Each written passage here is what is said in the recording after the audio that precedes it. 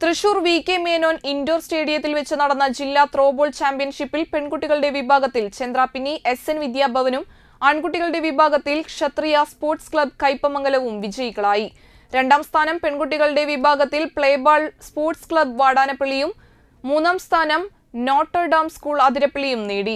ആൺകുട്ടികളുടെ വിഭാഗത്തിൽ രണ്ടാം സ്ഥാനം നോട്ടർഡാം സ്കൂൾ അതിരപ്പള്ളിയും മൂന്നാം സ്ഥാനം S N S Samajam sports club എടമുട്ടവും നേടി.